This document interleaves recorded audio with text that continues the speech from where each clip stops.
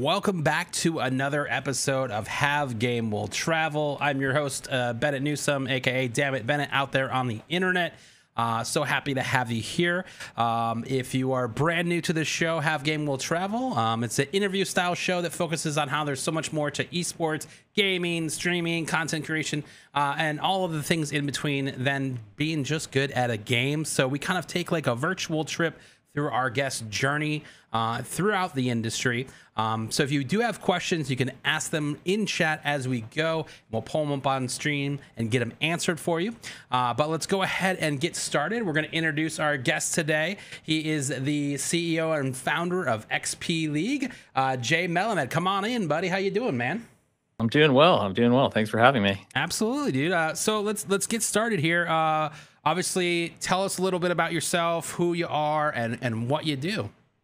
Cool. Well, uh, first off, I just have to thank you for for inviting me on this. I've, it's been a lifelong dream to be on Have Game Will Travel since your first episode. I saw you know Matt on here, and I was like, man, someday I'm gonna get on that show. So I, I appreciate the invite. well, um, here we are. You know.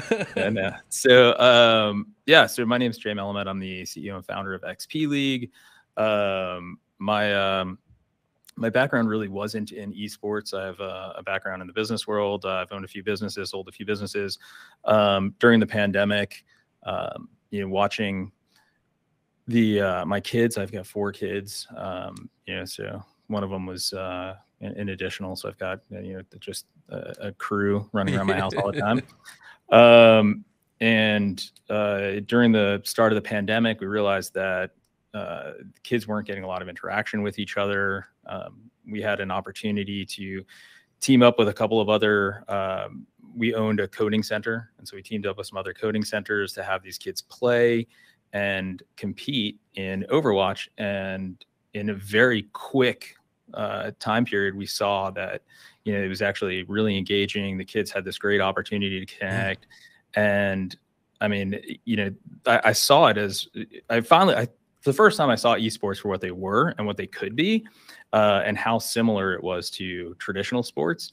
And um, having been, you know, a parent of kids who game, not understanding, and, you know, growing up being a kid who loves video games too, not understanding that there's this like sports component to it, and then doing it myself. I realized that oh man, I can be a conduit for parents and for kids to participate in this if I could make it look and feel like conventional right. youth athletics.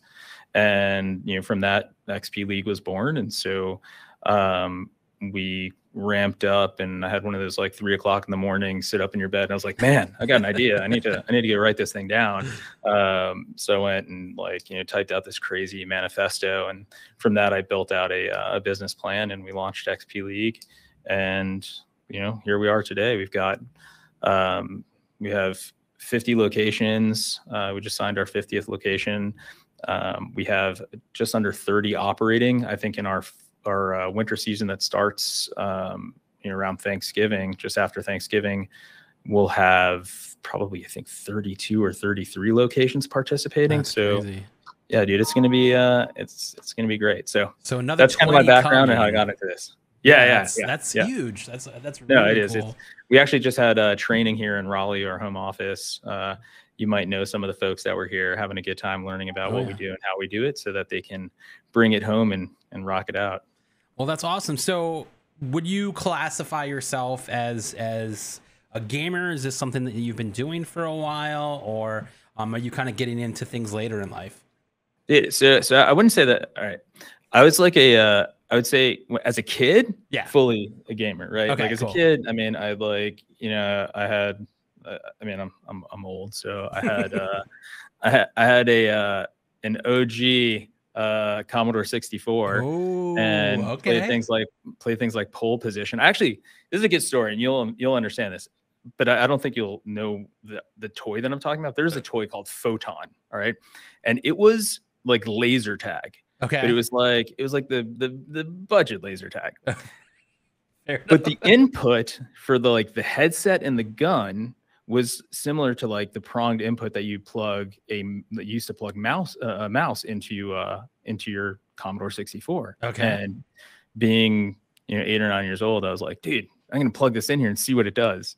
And I, and I, I broke my computer. uh, it, it totally like just fried the computer, um, which was cool because then I got a Commodore 128 because my dad go. was uh, my dad was pretty cool like that, and so you know I I played uh, a lot of computer video games that were like story type things mm-hmm. and pretty cheesy. Um, you know, you know we'd we'd sneak away and play Leisure Suit Larry like that was a big deal. Um, and then I I got into Nintendo, um, at a Super Nintendo, played that a bunch. And then, you know, when I got to high school, I really didn't play video games anymore. Um, I sold my computer because I wanted to get, uh, I wanted to get speakers for my trunk and a, and, a, and I wanted mm-hmm. to get a mm-hmm. sick amp. So I got these like, you know, clearly priorities were in the right place. Yeah. Yeah. You know, I just got this, like, I got, I bought this, I bought this $500 Honda Prelude and I spent about twelve hundred dollars on some kickers and you know an amp because I lived in South Florida, so my car had to rattle while I drive down of the course. street. Um, you know that's how you did it in in uh, 1996. Um, but in in college, my roommate was kind of big into games and got me back into computers. Yeah, played a lot of Half Life, um, and he was really into it. But you know, I got I, I played uh, Tony Hawk, but not really a big gamer. And um, it wasn't until recently, you know, I'd say it was right about around the pandemic stuff when it, when it started. Right. My son, um, Zev Lobos, who's really into gaming, uh, and you know he's he's a uh, he's a he's a he's a professional Twitch streamer now too. He gets he gets a couple like couple dollars every month. I mean, he's big. Got big some deal. subs, all right. Yeah, he's a big deal. Um, he and I started playing uh, Warzone together, and I really liked that game. And so we were playing on PS4, and uh, I realized that I was getting killed by the mouse and keyboard people all the time, and it was pissing me off. So I bought a gaming uh, laptop, started playing keyboard and mouse, and you know, like every other person who ever starts playing a like a, a mouse and keyboard game and gets into it, first person shooter, and likes it. Yep. Uh, I had to get a better machine, I had to get a better mouse and a better keyboard and upgrade, and then uh, I found Valorant and have like fallen in love with that game. It is the it is it is a love to hate game. Um, but I have a really good time. So long story to tell you that I wouldn't I, I haven't always been a gamer per se, but uh, I I I love the lifestyle. I love like the I mean I just love playing games now yeah. and I love what it is from what it means for my family and for my kids and absolutely it's a really great way to connect with them. Yeah, and, and there's you know we've talked to a ton of guests about um, kind of their journey in gaming and and and coming up. And then maybe there's breaks there's other things that they got involved in uh, which which is always good because it sounds like you had other passions um, you know for for different things which is which is good. For me it was like music. I had music and gaming. It was always like a constant back and forth between those two things. And you were you know pimping out your truck and that was great you know so what would you say? What would you say was like the first game that really caught you and was like, uh, this is a game that I love. Like this is the first game I've ever loved.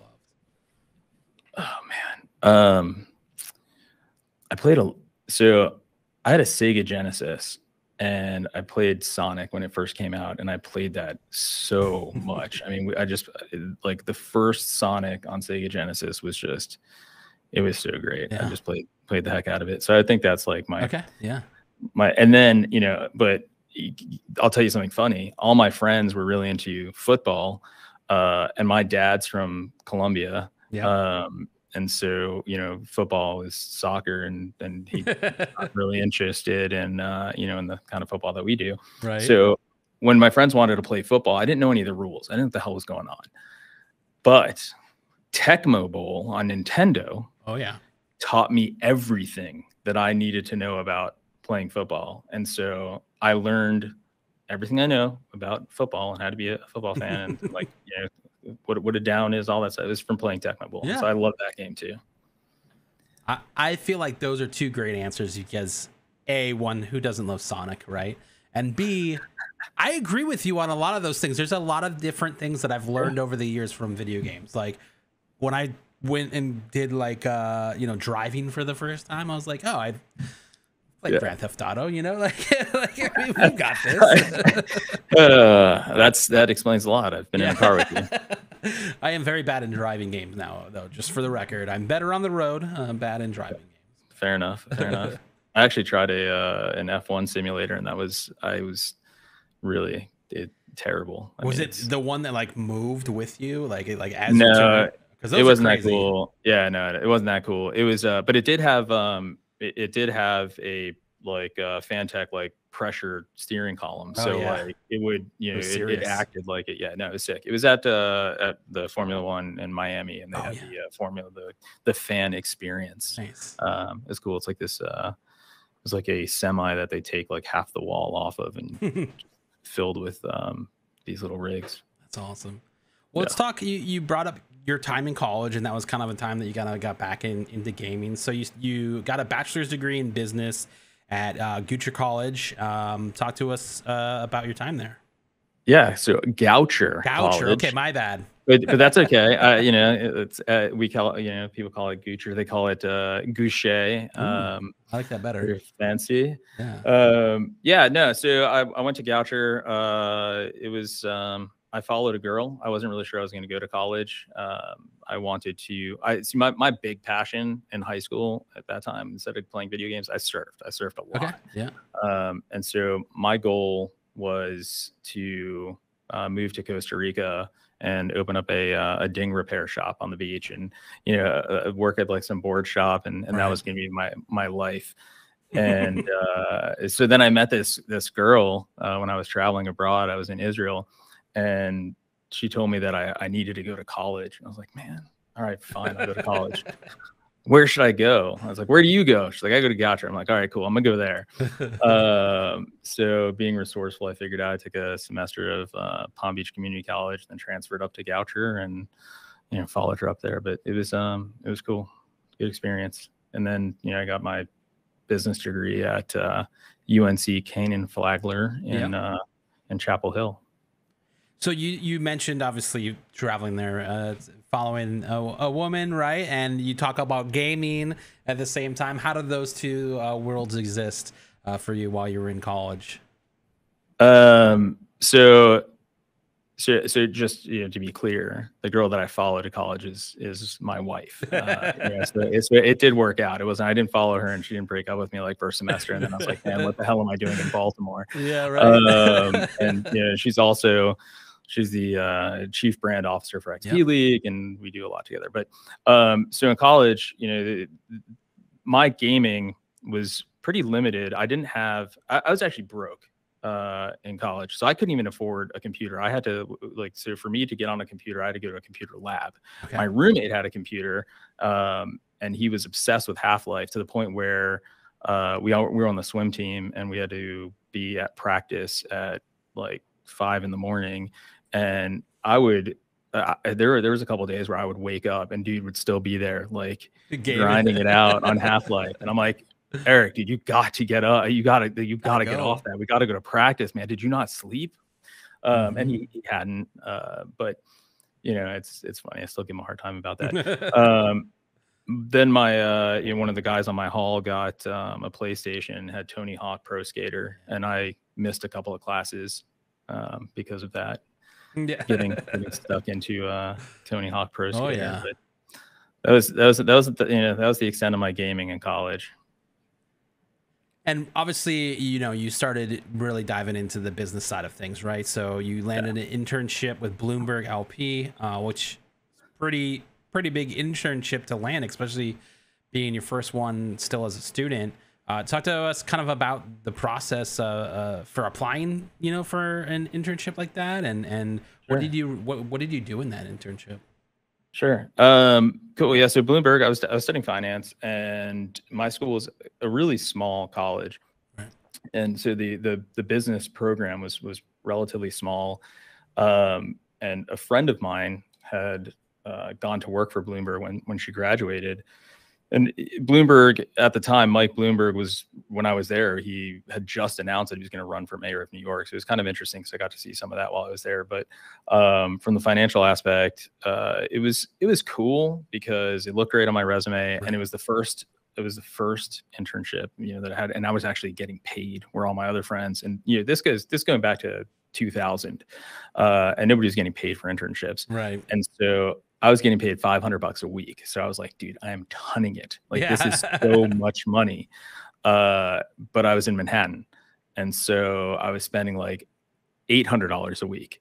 And so a guy who had no money going into this, never had a credit card before, somehow decided to get a credit card, ended up a credit card, leave, you know, this one uh, job that I finally get in finance in debt because uh, my roommate wanted to go out every night. And I was like, dude, I can't, I can't, you know, so I'm eating hot dogs in the park for lunch and all this stuff because New York is just crazy expensive. But um, you know, getting an internship like that, I think a a lot of times it's it's not so much what you know, but it's it's who you know, Right. unfortunately. And and you know, if you can and, and not being afraid to ask for that uh for you know for that that that step up, right? Yeah. You know, I uh, I was I was really interested in um in so boring, but I was really interested in in uh, in bond trading Okay. and um, my friend worked on the bonds desk, and so uh, she got me in uh, to to do that. So I did research on uh, on different types of you know different types of bonds and, and Right. what was going on in that space, and it, it, it actually was really boring.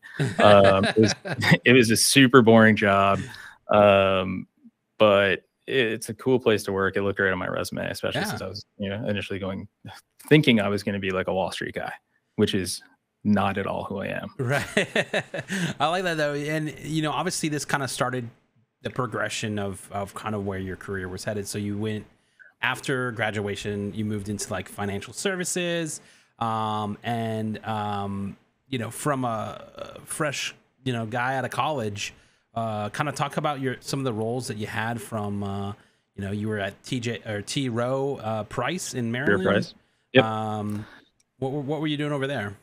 Uh, I worked in um, in the uh, financial services support. Uh, so it was. I graduated in 2002. The market was terrible. It was really hard to get a job. Yep. Um, so I was really stoked that uh, I gotten that opportunity. Uh, pretty low paying, but it was uh, it was a job.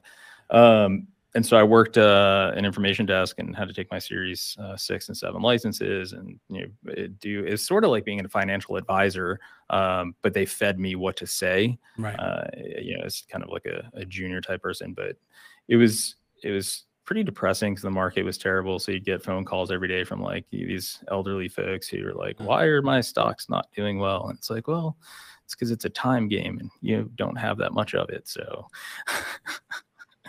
um, the market's not good. You should have bought bonds right. um, but you know, it's it's kind of funny like that. It, it was it was a good job though, great opportunity. Um, but I was I was there for a little while, and the fun part about it was the group that I was hired with. They hired you in a class, so I was hired with Okay. like uh, I think it's 15 other people or 16 of us total, and most of us were recent college grads, but there were some older folks in it too that were you know getting into the finance and Right. maybe a business school had had a business degree and we we did this class for 12 weeks so that we would you know know everything that we needed to know to get on the floor and answer questions and that was that was super fun uh, that was that was great great experience probably one of the best work experiences i've i've had um and you know again i i followed a girl to uh, raleigh north carolina so that's how i ended up in raleigh and moved here in late 2002 Okay. And you obviously held uh, a lot of different jobs after, you know, working in the Yeah. financial services. You from staffing manager to consulting to project management. Um, kind of at that time during these types of, uh, you know, jobs, were, was esports or gaming even on your radar, or was this just something No, uh, that not you, at all. you weren't really paying attention to at the time? Yeah, not, not at all. I mean, I was uh, had no idea what was happening in, in in the gaming world at that time. I mean, I was just focused on trying to um, start a family, figure out Yeah. what my business was going to be. Um, you know, I, I, it was interesting progression. Yeah, I went from finance to consulting to uh, consulting for construction companies to going to work for a construction company to founding Yeah. a building science company, and then I ran that for a while and grew it, built it, uh, sold it. Um, and so, you know, really, it wasn't it, it- the first time I had a gaming like. So there were two like points where games came back into my life in that process. One was um, my father-in-law had just done a project for Red Storm Entertainment. Oh, okay. And so he came home with a with a CD of uh, this really cool game called Rainbow Six, um, and it was the it was the first Oh, one. yeah. It was the uh, you know the original Tom Clancy Rainbow Six, uh, and I played the hell out of that game. That was a lot of fun. You know, it's like it, you. I have no idea how similar. It, I mean, it's not similar at all to like Siege. See, well, like they that, but- added the multiplayer in now, so uh, so I'm told. Uh, Yeah. But yeah, it so, def- yeah, definitely. so I mean, there was there was there was no there was no multiplayer on this one. It was like you were just essentially laying out paths and you're like, go code alpha, you know, and Yeah. like sending guys in. It was, it was cool. Uh, so I played that a bit, and then you know, fast forward when Eva, my wife, was pregnant. Um, I don't know why I thought that I would have more time, and I finally bought myself what I'd wanted for years. I bought myself a PlayStation. So I bought a, a, a PS2 or maybe it was PS3. I can't remember what, what it was at the time.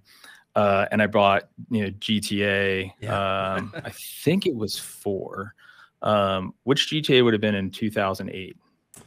Uh, maybe Vice City.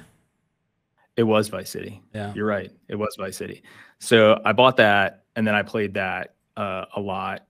And then the kids came, and I don't think I touched my PlayStation again for a really long time and ended up like uh, selling it to somebody or, you know, I can't Right. really sell, sold it or gave it away. Um, and, you know, fast forward, my kids get a Wii. I play on the Wii with them. That's fun. I, I wasn't, I might, Zev will still tell you to this day the Wii is the best console ever. Uh, I, I wasn't really into You know- it. Uh, it's not a lot of fun for me. if if it, I feel like we had uh, kind of that great honor of growing up with a console generation, and every year it just got better. You know, like oh my god, the graphics of this one is insane. Like you would lose your mind because uh, Exactly, like and then this shows up, 16 bits to 32, right? Like Yeah. Exactly. Or like when uh when when uh uh GoldenEye came out. yeah, Yeah. yeah, oh yeah. we were- I was I was at summer camp. I was a camp counselor that summer. Um and one of the kids uh who was a counselor with me brought his console and I mean I guess it was N64. it said 64 yeah. and uh he set it up with this you know with with goldeneye and i think we would play that for it was like you know oh you guys want to go into town and and like hang out or do stuff like no no no dude we're going to like we're, we're going into uh into the the so the cook had like a a, a room with you know air conditioning and a tv and so we Right. go into the, the the cook's room um the camp like the camp uh food prep person. And so we would just hang out in in her place to play goldeneye for hours. That's so that was a lot of fun. Yeah. But anyway so so we got the wii. It was cool um i guess. And then uh zev was probably six or seven and i really wanted to like try call of duty and somebody i worked with let me borrow their um xbox 365 with call of duty and so i was playing it and Zev was playing it and eva saw and did not think it was appropriate for his age uh and so we gave that back to my friend john yeah. uh, and didn't play it anymore. And then, you know, eventually the kids wanted a, a, a better system. So we bought a, you know, PlayStation. Um, we bought a PS4 and then we played some Fortnite. My kids still make fun of me from the first time we played Fortnite. Uh, you know, I was, I was, I just figured out how to like crouch and I was like sneaking up and I, I, you know, you're talking to your kids, so you say funny things. So I was like, "Uh oh, daddy's coming to get you." and literally like they still make that joke like you know it's still like you remember that time when you were crouching you're like daddy's coming to get you that's so weird like- yeah Yeah, I and the, the most important part is that you're building memories. You know, like Uh, the, absolutely.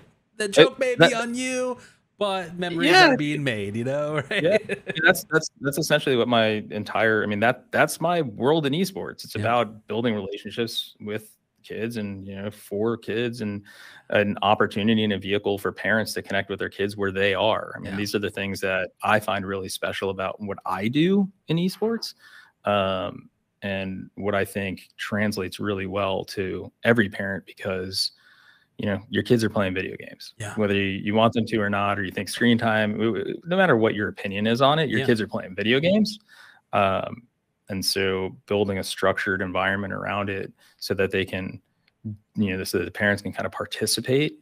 We, we- stream our matches so that parents can watch their kids play. It brings them into you know we i always when i'm explaining what we do i always talk about it as like those are our bleachers right? Twitch Right. is our bleachers. Um, so you know you have that parent who comes in and watches their first fortnite match and their kid playing has no idea what's going on. But after a few months is like you know starting to scream about you know making sure they grab that loot box or you know they're running out of mats um, so it's it's a fun progression to see Yeah, and, and I think that's the most important part is the kids are going to play that anyway. Like they're going to do that sure. without sometimes without permission, you know, like so if if there if there's a connection to be had and a way for parents to come in and and and be part of that, I think it's such a a great opportunity. Um, you know, my folks uh, do it with uh, you know uh, my niece and nephew, and and that's like the coolest thing for me is like thinking like, oh man, they're playing Wii, they're having a good time. Uh, I, my dad, I you know, I'd sent him my PS4, and him and uh, uh, and my nephew will play you know Madden or, or, or NHL or whatever, and they and they have a blast. And I think that's such a Yeah. good and an important piece of like building that relationship from a like a grandparent to uh, you know a grandchild or a mom and dad to their kids, like however that may be. Um, Yeah, for you- sure. You know, bi- bridging that gap is, is just such, such an important piece, and and the video game is just the easy part. You know, like that's that's where it can be a lot of fun, and they're already interested in it, so uh, you- Yeah. you, kind of get a win there, right?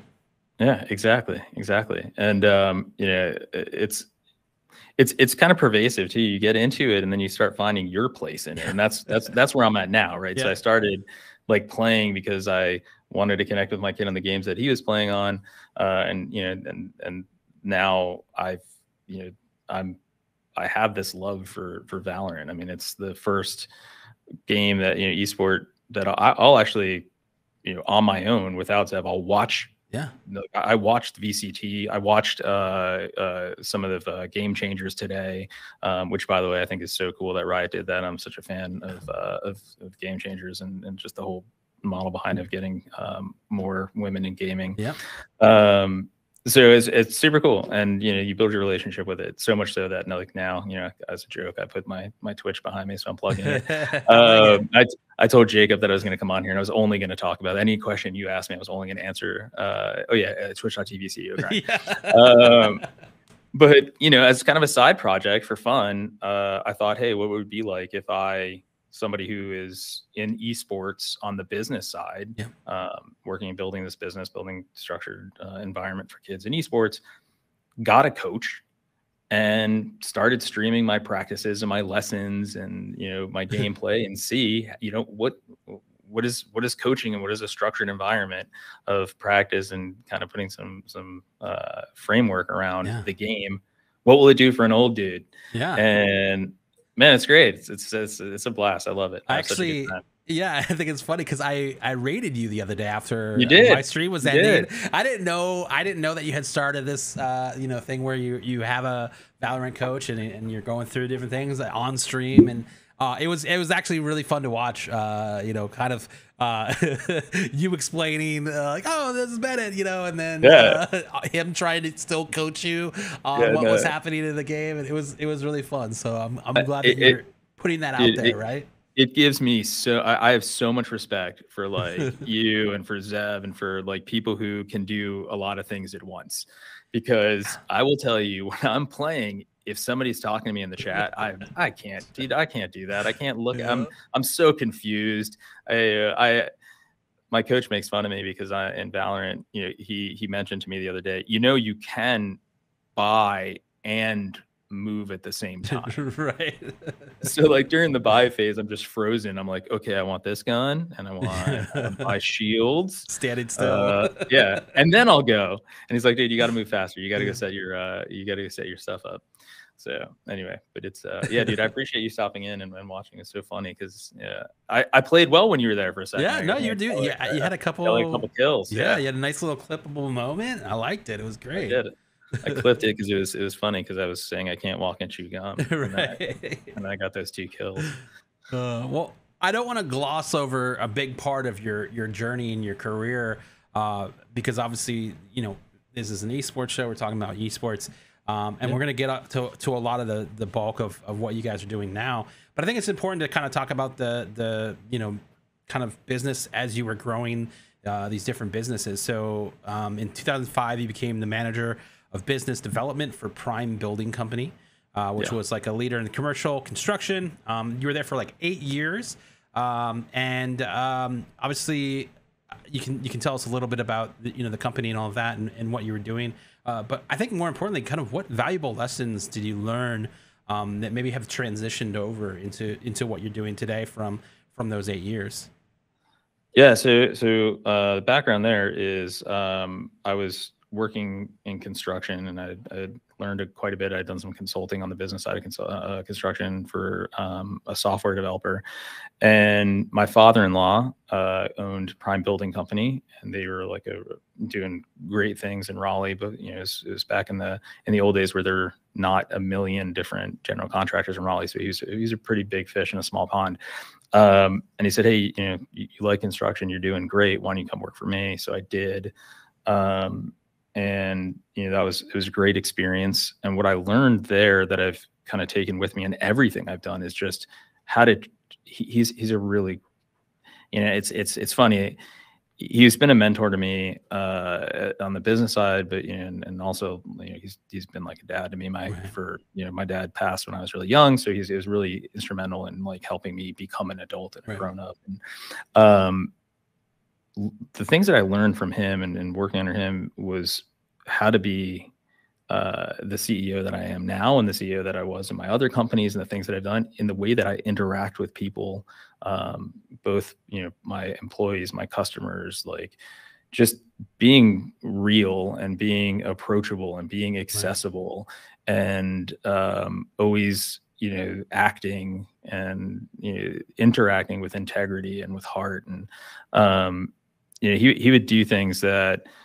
um, just really humanized kind of the roles and yeah. and did things for his employees that I was always really impressed with. And I was like, man, you know, I'm I'm, I'm gonna I'm gonna do that. And so in construction, I mean, a lot of times it's it, it's it, it can be a kind of a weird good old boys club, and he is anything but that. And it uh, it was it, that actually was what made him successful was he was able to go and and kind of like not be the guy with the you know the golden retriever and the pickup truck and could actually like you know, he he came in with uh, clean boots on.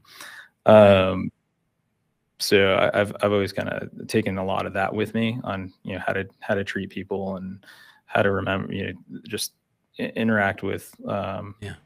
your your team and and uh, make sure that you always realize that they're they're people just like you are and they have issues and they've got things going on and um, being reasonable on expectations and that sort of stuff yeah absolutely and and I, and I think that's good. I mean, uh, you obviously want to set that stage right for for you and and and how you run your companies and things like that. Which I, sure. I you know I'd assume would lead into founding um, the the Prime Energy Group, which was kind of yeah. the next part of your journey there was you, you you built this. Tell us a little bit about Prime and Energy Group.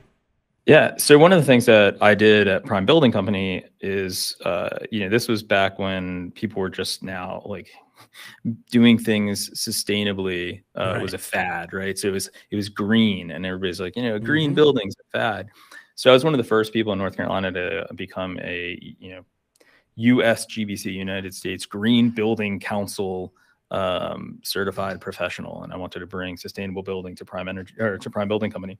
And one of the things that I got really interested in was energy efficiency, and I realized like that's that's like that's what matters, right? You can talk about green and like until you're blue in the face, like yeah. oh, we have cork floors and we have you know all this other fun green stuff, but it really doesn't. It, it, it's nice and people like to talk about it, but what really matters is you know the the the energy usage of the building. I mean, long term, that's what affects our climate and what right. affects all those things the most. And so, if you want to build something sustainably, it's understanding what the uh, energy usage of that building is and how can you minimize that and how can you minimize their, your, your your your footprint. Um, so the, uh, the the quickest answer on that is insulation and the way that you build the envelope. And so being kind of a bit of a nerd. Uh, spent a lot of time researching, figuring out, you know, what what makes a building energy efficient, what's the best way to do it, and that led me to wanting to start my own business. Uh, I partnered with my father-in-law, and I worked two jobs for a long time. I was still uh, working at Prime uh, building company doing biz dev and, and project management while I was kicking off Prime Energy Group.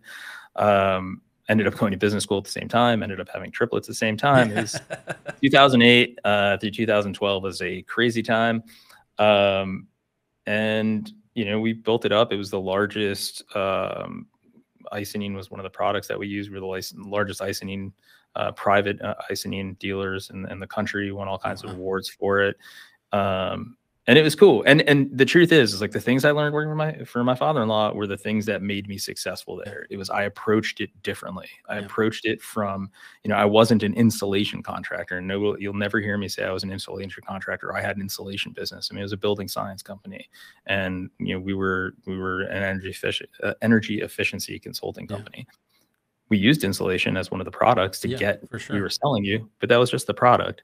Um, so you know that was fun. It grew and then i ended up selling that um, to a large um, consolidator Installed Building Products. They're a publicly traded um, building in like services right. consolidator. They own everything from uh, installation companies to uh, glass and mirror garage doors. I mean anything that goes in your house these dudes like own a business that yeah, does that. That's cool. So yeah, it, it was cool. I learned a lot um, in, in, doing that because taking a business through an acquisition um, is a hell of a learning experience. Yeah. Uh, you learn, you know, you, you, get to really appreciate the value of what you put together. Yeah. Um, and then I ended up staying on with them for five years, running uh, my brand as well as uh, about five other different brands that we acquired while I was there. I helped on the M and A side of it, integrating them into the company, and I mean it was cool. It was great. I mean it was, it was, it was a lot of fun for the first few years. It did get old. Yep. Um, and being you know being kind of an entrepreneur, you get you get antsy uh, and want to do something different, and that's when you know we started talking about this XP League thing. Yeah so tell, so, uh, tell me this, because I, I know that we have um, you know a lot of students at Full Sail that are in that world of entrepreneurial you know business and and they want to you know be a founder of their their company. What what were some of the early kind of um, you know challenges or pitfalls of, of of founding your own company? Uh, so it's the uh, the biggest challenges you'll have as an entrepreneur is um, the emotional roller coaster that you go through yeah. because uh, it's it's going to happen. I mean, there are days you're going to wake up and you're going to be like, "Man, dude, I am on top of the world. My idea is so good, and I've got such a great plan, and I'm going to kill it." And then you'll wake up one morning and you're like, "What the hell am I doing? uh, why don't I just go get a job? This sucks. Nobody's going to believe in me."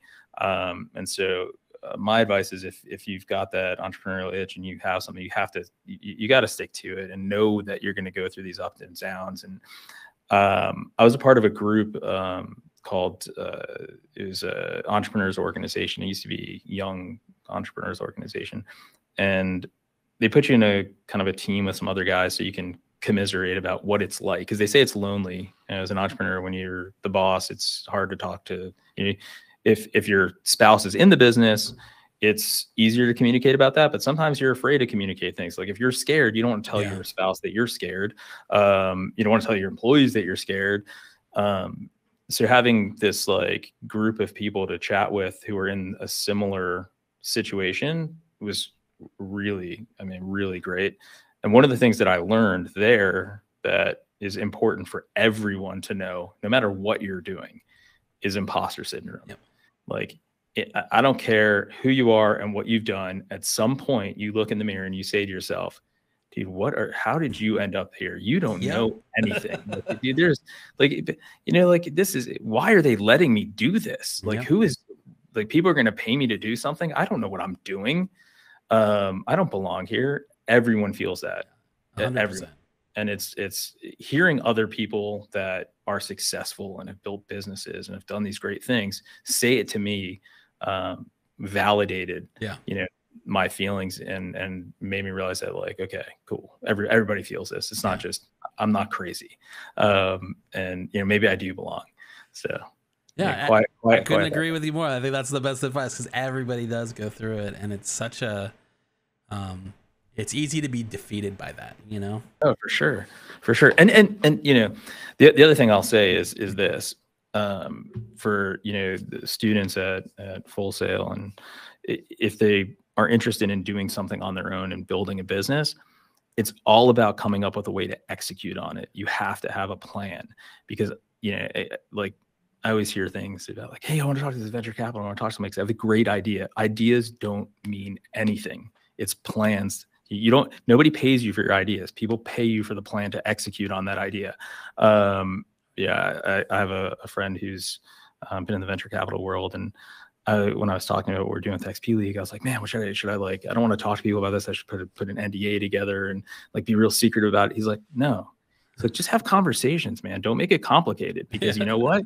If your idea and your plan is good, you'll do it before they do, and you have a plan. You know, they're not going to like. It, it, yeah. it, you have to make that different because someday you're going to tell people what you're doing, and it's not going to be a secret anymore. And if they can figure out how to get there as fast as you, then you didn't plan well enough and you didn't differentiate yourself. So don't be afraid to have the conversation. Yeah.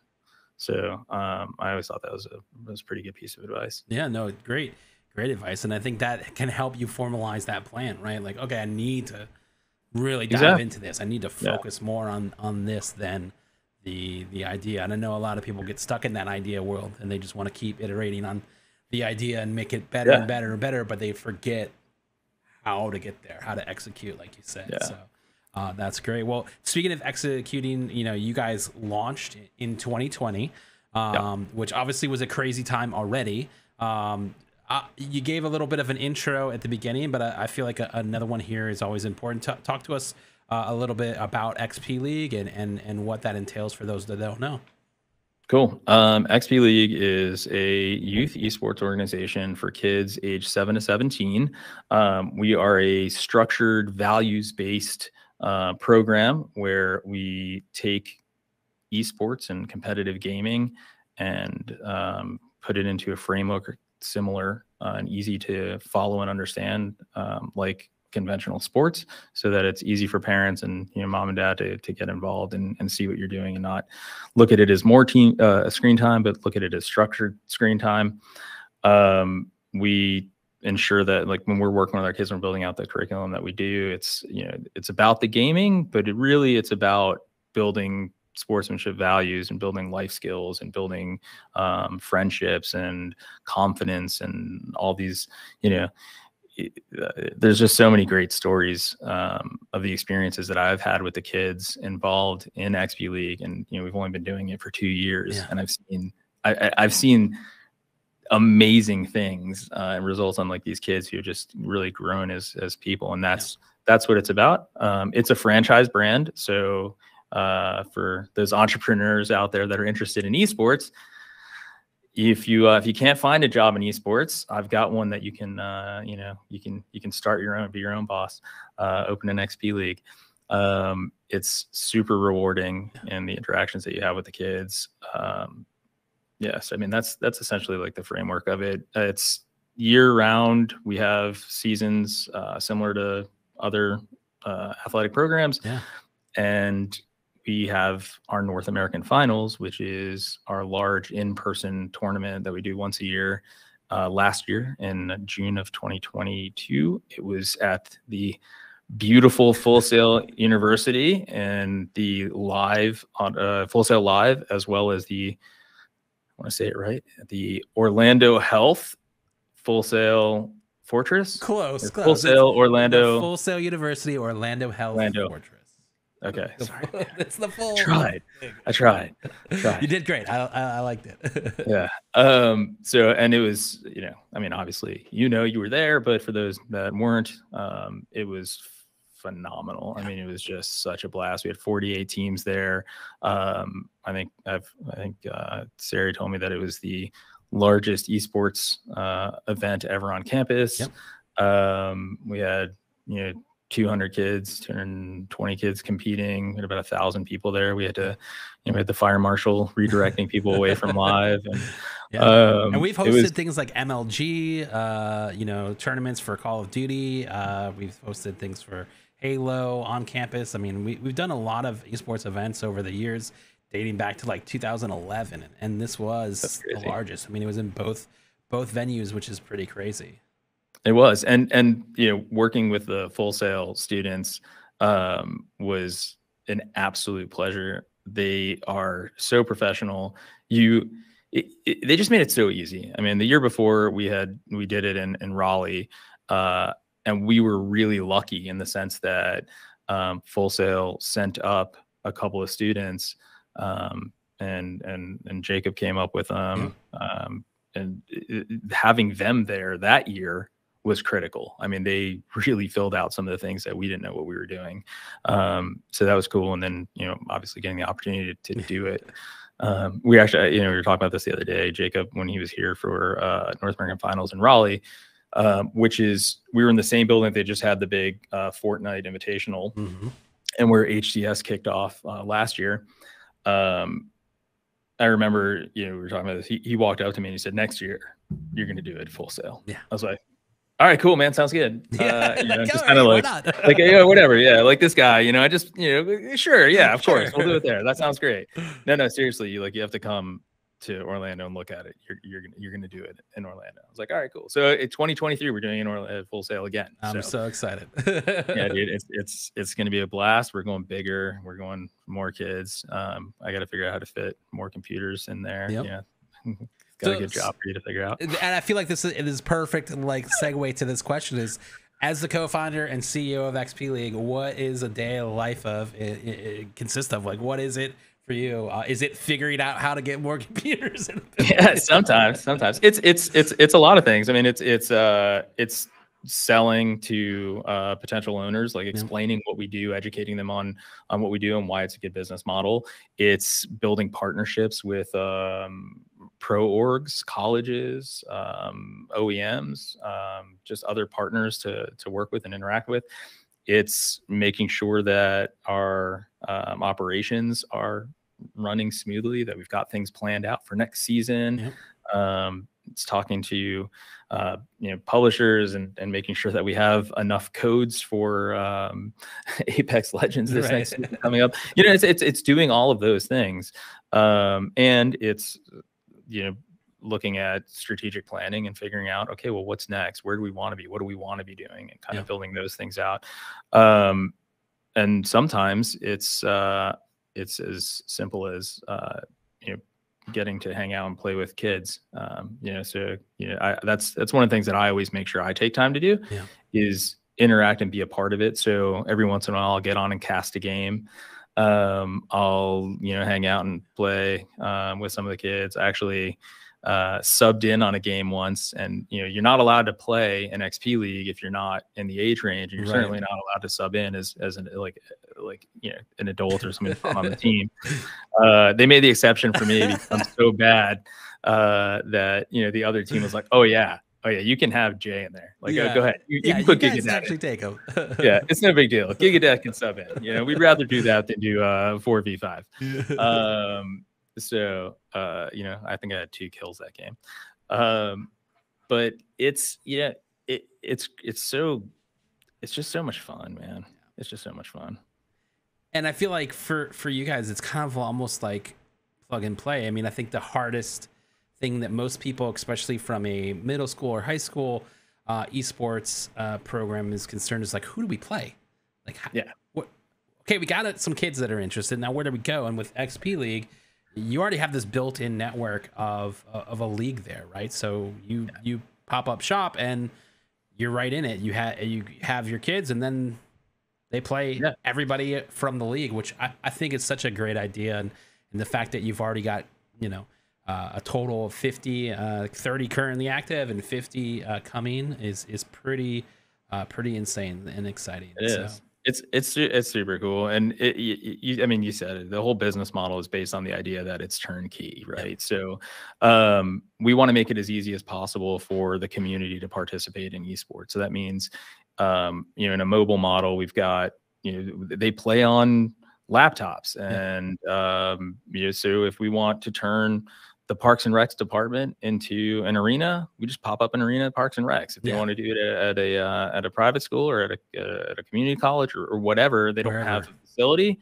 You just pop up an arena and you know you've got you've got uh, that's the real have game will travel, right? I mean, I- exactly. yeah, it's it's uh, have laptops will travel.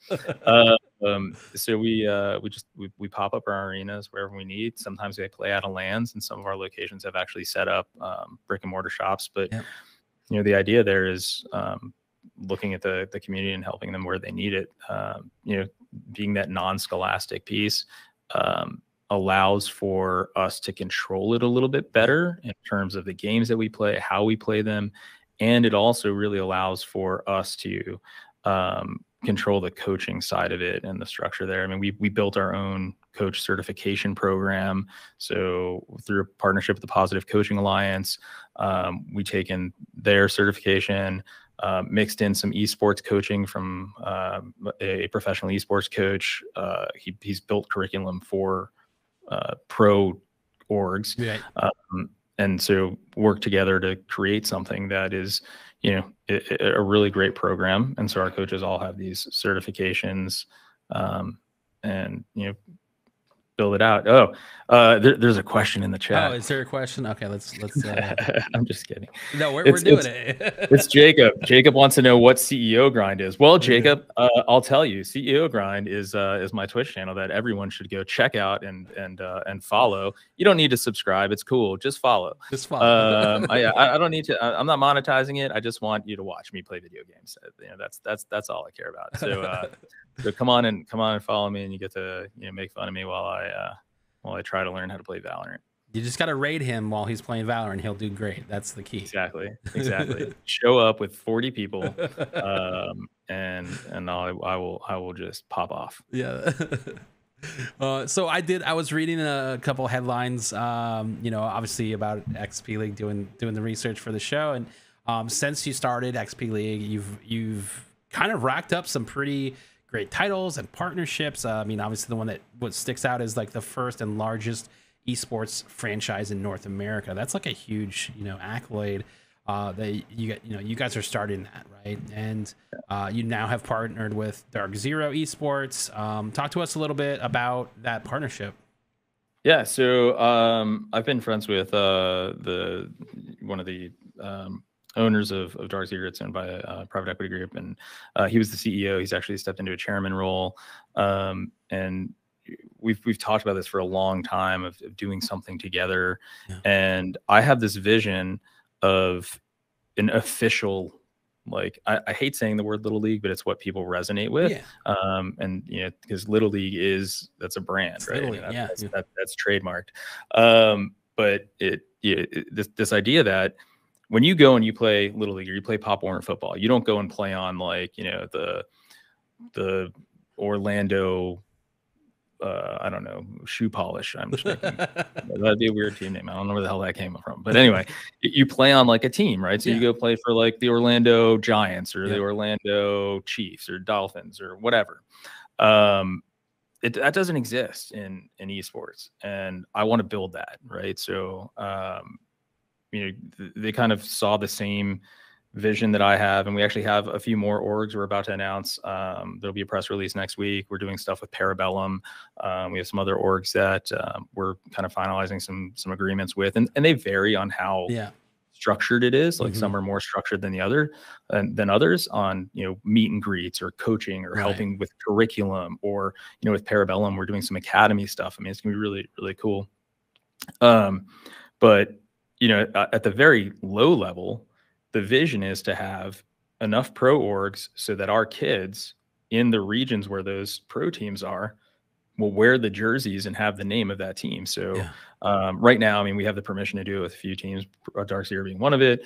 Um, we could, w- w- we will have an XP League Dark Zero team uh, grouping. So that could be from, you know, if you have a really strong team and you're, and you're the franchise owner and you want to call them Dark Zero and have them wear Dark Zero jerseys, Yeah. you, you know, we can do that. And so That's we'll be able to do that with a, a bunch of other uh, teams. Yeah. And so my goal is to get to the point where we have enough orgs bought into that with us and sharing that vision so that our platinum level of elite players, which is about you know, probably 15% of all of XP League kids. Yep. Will have you know an interaction with with one of those teams That's as cool. uh, yeah, it's kind of like a junior league, you know, junior Yeah. team. And I feel like there's a win for both, right? Like Yeah, no, the it's huge. It's Esports huge. orgs are like getting to interact with the, the future Absolutely. of, of esports, you know, as in- in the Absolutely. youth, and, and then obviously the kids who are floored to meet, you know, some some pro. Like that's that's gonna Yeah. be really neat. It's um it, it's it's so cool. You know, when you think about what we do and it, it- well, here, here's the thing about esports, right? So esports is a bit different than than other pro sports because in most cases, people like the org uh because of who plays on the Yeah. team. It's a back of the jersey, not front of the jersey. And you know, this is a fandom conversation that I've had with a lot of people. Um, I actually had a really great conversation uh probably about a year and a half ago with Adam Rymer uh, when he was at Optic Yep. about the fandom problem in esports and how to fix that. And you know, we talked about the, the the things that made us fans of the teams that we followed when we were kids and and why we were lifelong fans. And it, it's it's that it's it's a, some sort of connection. You have to have a connection to the team, whether that's because your parents rooted for them and they like introduce you to it, and Yep. you have these memories of cheering for that team with your with your mom or dad, or it's you know for me, I'm a huge Dolphins fan, and it's because you know I'm a big time Dan Marino fan when I was a mm-hmm. kid, and it's because we almost moved into the same neighborhood he lived in, and that like stuck with Yeah. me, and I, it was a big deal for me um, as a kid, and like I had, you know, I, I, I was you know, so now as an adult uh, for a lot of years I've been a Dolphins fan, which sucked up until this year, which is amazing, and, and now I'm like, yeah, it's- for the first time I can watch uh the uh the news and see that you know watching sports news and espn and stuff and seeing that we're not awful yeah. so refreshing yeah. um so but you know the, the conversation around the idea that like this gives orgs an opportunity to connect with kids Yeah. in a way that is so meaningful because they will always have that memory of oh man when i was a kid i played uh you know i played on this uh, apex legends team um and i was on like the dark you know, xp league dark zero and dark zero won algs that year it was amazing and you know so i've i've followed them forever right Th- those are the type of Yeah. um, stories that i think will come out of relationships like this and um you know, and, and having these conversations with uh, with pro orgs has, has been it's been a lot of fun because they they get into it and they Yeah. see the vision too. So um, I think it's gonna I, I- think it's gonna be really successful. Yeah, I'm I'm excited to see what you guys do, and um, you know, you also in 2022, uh, you ex- uh, executed a deal to bring in like the youth franchising juggernaut that is Unleash Brands in as a investor and partner. Uh, Yep. Talk to us a little bit about Unleash Brands and, and that partnership. So Unleash Brands is um, doing what like Neighborly um, and you know Inspire Brands did for other industries. So Neighborly is like uh, a franchising uh, brand platform that owns a bunch of different brands on things that do things at your house, right? So if you need something from your house, you call Neighborly, and you know one of their their roofing company comes out or whatever. And so um, Unleashed, their vision was they they were started by guys who were in uh, Urban Air, which is a uh, it started out as a trampoline park and evolved into an indoor adventure park, and and they're they're pretty cool. I mean, some of them have like indoor skydiving, Yeah. go karts. I mean, it's, they're insane. They're the coolest things ever. If they had them when I was a kid, I'd probably spend all day there exactly. um, I mean, it's it's it's really amazing. And so, you know, you had this vision of creating a platform for youth enrichment, and they kind of break it down into three worlds. There's like um, play, learn, and grow. Mhm. And so I started, they reached out to me really early. I mean, I, I've probably talked to them for over uh, almost a year before we actually did anything. Um, and it, it was, it was great. I mean, they, they had the same vision that I did of like reaching kids and making a difference in their lives and impacting them in a positive way. Um, and, you know, they like, uh, Michael Browning, who's the CEO of Unleash Brands, um, he always says, kids don't have to wait to be great. Like that's his tagline. Um, and you know, I talked about that with with our owners in the sense that, like, yeah, dude, we, we see that every day. Like our kids, you know, they are great and they know they're great. And the way that we build up their confidence and what we do with them is is phenomenal. Um, so there's a lot of shared vision on uh, what we can do to enrich these kids' lives. And so they've bought a bunch of different brands since um, since they started. They own the Little Gym, which is uh, a huge international. I mean, they've got locations as far as like I think they have some like on Argentina and oh, wow. like Thailand and stuff. Um, Snapology, which is a STEM brand. Um, they own this really cool one called Class 101, which is um, it's a collegiate planning franchise and the owner the guy who started it who's now the brand president and ceo is just a phenomenal person um, and he really cares about yeah. the kids that he works with and getting them into schools and getting them you know scholarships and doing all this great stuff so it's a really interesting model but unleashed is crazy they're huge um, and they continue to grow And they're winning all kinds of accolades in the franchising world and yeah. they're doing it the right way by um, supporting their franchisees and you know so it's it's re- really exciting that they were interested in us. Uh, it's been fun. Um, you know, of course, everything has its challenges, um, but it's been fun. Um, you know, getting integrated into that program and getting to still. I mean, it's great because we get yeah. to we get to retain who we are and why we do it. Yeah, and that's great. I mean, I think like keeping being able to be XP League and do what you guys are doing, and then having that support behind you is is huge. And and you guys obviously had received a ton of other accolades uh, since you know forming. You now received your STEM accreditation. Um, uh, you were nominated. Yeah, you were nominated as a Tempest Awards watch list uh, recipient. Uh, you know, there's a lot yeah. of really good things you know coming out uh, here for XP League, and uh, talk to us kind of about uh, what what that feels like at the moment. Oh man, it's it's like it's it's great. Uh, you know, it feels uh, it. It's really amazing and it's really refreshing and uh, I guess validating that we came at esports in a way that we wanted to be authentic and we wanted to really like we, we didn't want to just come in and be like oh yeah we're we're going to play competitive video games and we're going to be esports and we're just going to take advantage of the community and you know like you know kind of play it from that angle we wanted to get into it like really get into it and and do it like understand what what it means from the grassroots level to yeah. the like you know we want to know what what it feels like and what it's like for the streamers and for kids who compete in you know on on on high school teams or compete into um, academy teams and what the pro uh, what the pro circuit's like and what their you know the different challenges that they face and kind of just looking at it holistically from you know we, we we say esports a lot, but just from competitive gaming yeah. and just looking at it from the entire like competitive gaming um,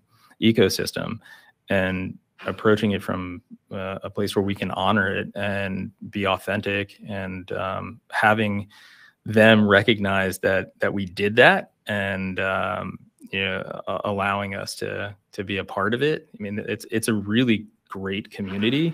And if you approach it right it's unbelievably welcoming and it's a great place to be.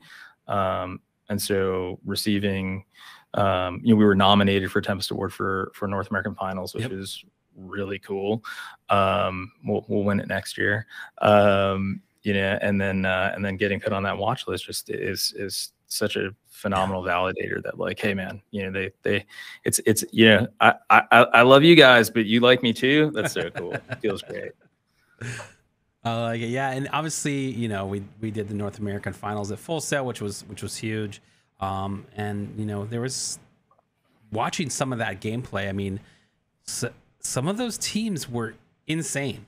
Uh, oh yeah. yeah. and I feel like probably could hang at, and they were maybe middle school level, and I definitely oh, yeah. think they could have hung in high school and maybe even at the collegiate scene because there were some top talent players there that were were you know yeah keeping you, uh, the game and. Did you catch any of the Rocket League? I did, yeah. The rock. I was. I obviously I'm a fan of Valorant. You know, I'm terrible at the game, so I like I like watching it. So I sp- I stuck around for a lot of the Valorant action.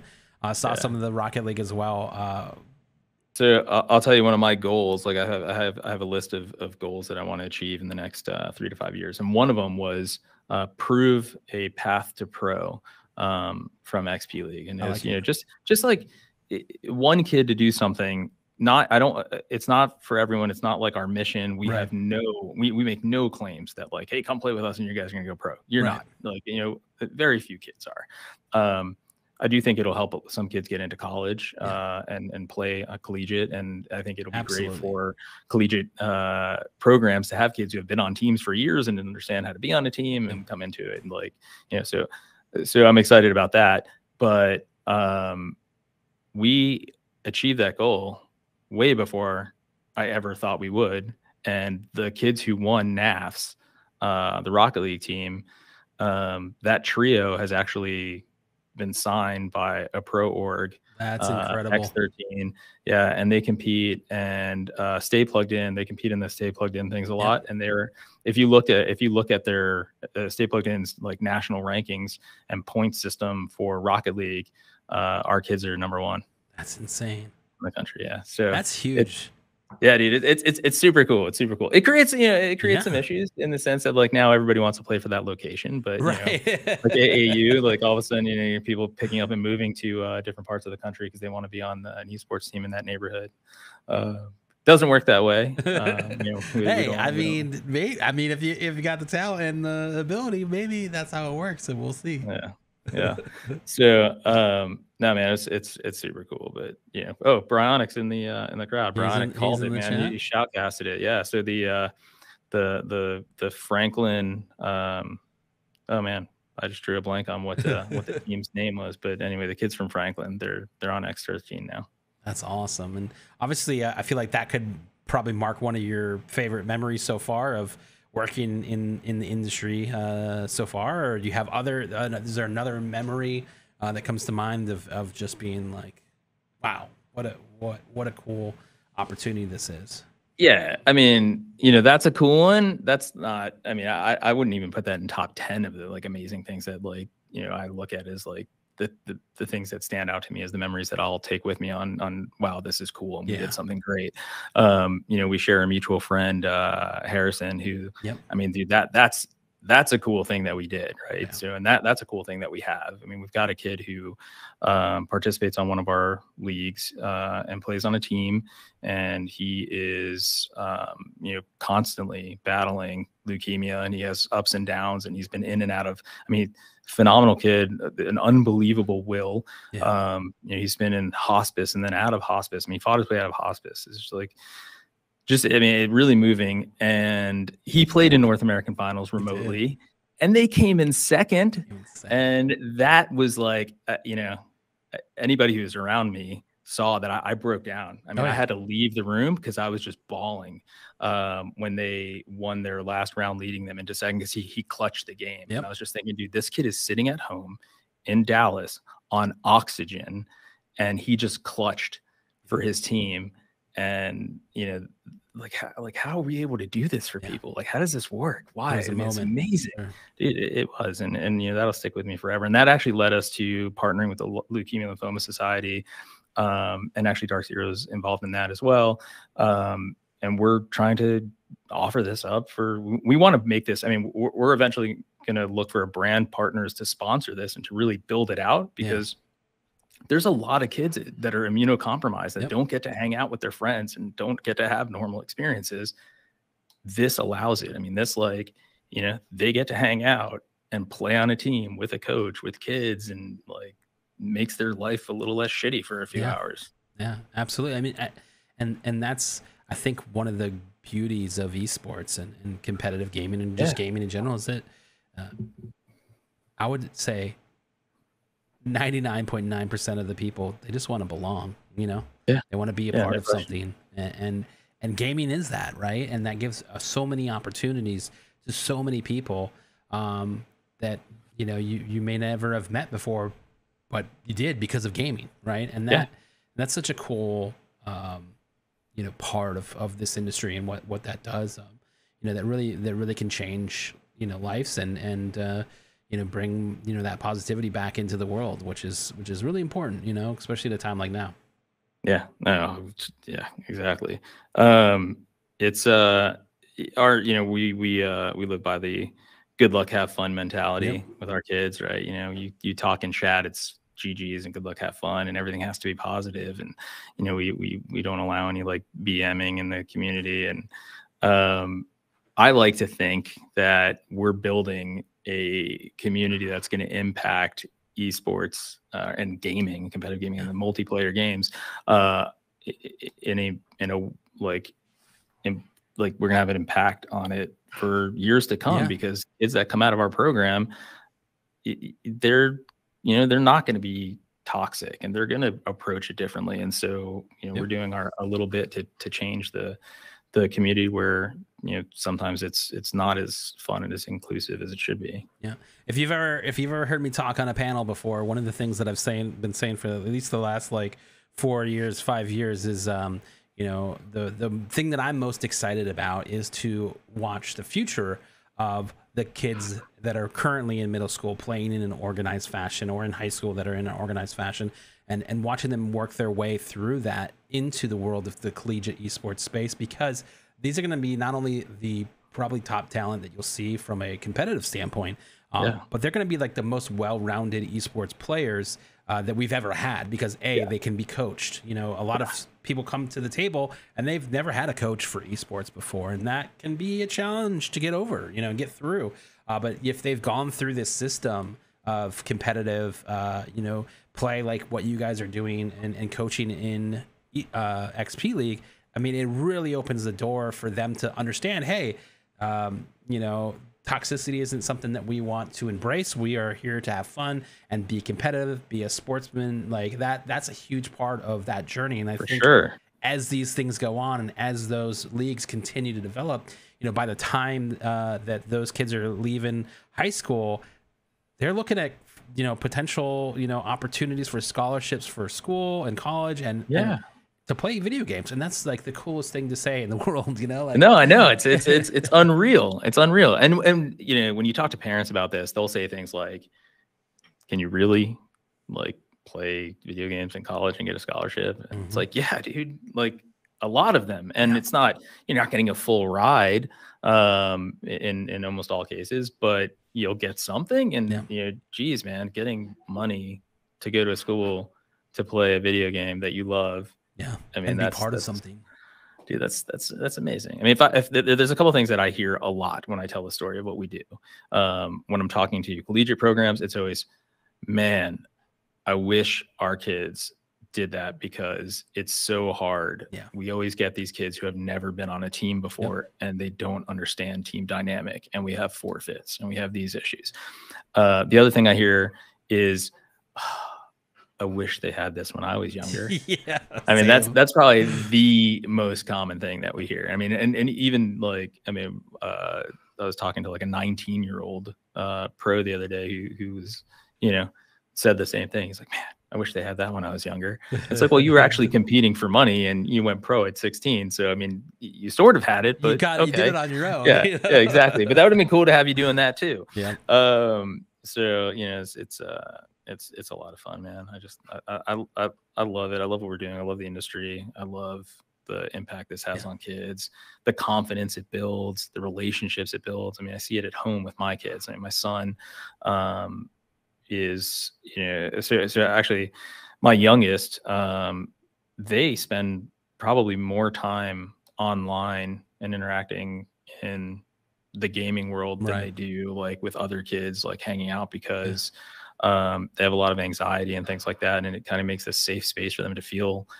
you know to to feel at home and to feel who they are yeah. um, and it, it's i mean that, that's awesome. He's not you know they're they're not competitive. They don't get on there to like you know they're playing be the best right? Yeah i mean they're, they're playing like genshin impact or right. roblox or things like that. Exactly. But it's their place and yeah. they get to be who they want to be. Um you know but and they do it in a positive way where um you know you sometimes you get some kids who act toxic because they use that avatar as kind of a mask of who they are. Yeah uh, and they get to be their worst self. And so one of the like things I think about with XP League is um, we build character, not avatars. We're trying to take that anonymity away from the kids. You can be in this space and you can be who you are and embrace it because that's how you're going to make genuine relationships and that's how you're going to make genuine connections in the space and so don't be afraid to be who you are um, you know it, it, be real in in your gaming and online and be real in the real world yep. um, and so one of the things that we talk about a lot with our kids um, in xp league is is that you have to respect the game and respect your opponents and realize that you, when you're playing somebody it's not you're, you're not just playing a character on a screen. You're playing against another kid sitting in a chair in front of a monitor, in front of a keyboard, in front of a mouse, who's just like you. Yeah. And the things that you say to him or, or her or them uh, affects them the same way that it would if it was directed at you. So, you know, you want to take that in and think about it. Yeah, absolutely. Yeah, and I think that's the, you know it's such an important piece of the the puzzle as as these kids get older and get out into the world. You know, leading with those types of you know ideas, I think it's going to be you know a, a, great future for them and, and obviously their their journey in esports. But um, uh, obviously, before we go, I feel like we could we could talk all night. Uh, yeah, yeah, yeah. but uh, I do want to give you some time to a first, uh, you know, to give some shout outs and, and and let people know where they can find you. Um, sure. Before we have a couple last minute questions, so go ahead. Where, where can people find you? How, how should they get in touch with you? Yeah. So um, I'm on uh so, so me personally, uh you know, twitch.tv CEO grind. Um you can follow me on Twitter uh at MelaMedJ. Um XP League is at XP League on Twitter. We're xpleague.gg. Um, we have a, a, location map finder on there. So if you know some kids, um, you know, hop on there and check it out and see uh, where we're where we're at, so you can refer them and get them on a team. Um, we do have virtual programs, so if we're not where you are yet, reach out anyway. We'll we'll hook you up and get you playing. Um, you know, there's a there's there's there's a home or a team for every yeah. esports athlete. Perfect. Uh, we got one. Uh, we got one um, question. One last question from chat, and that comes from Phoenix Nap. Uh, what is the goal? Uh, what is a goal that you have for XP League? Uh, the goal that I have for XP League is for XP League to be the brand of youth esports. I want XP League to be thought of the same way that Little League is thought of. Um, and, um, you know, I want kids who participate in XP League to um, to be recognized as something special. Um, I want people who coach and work with XP League to be recognized as something special. Um, I, I, like to equate it to uh, Eagle Scouts. I was not a Boy Scout. I was never in scouting, but I know what an Eagle Scout is and yeah. I know what it means and I know what they go through.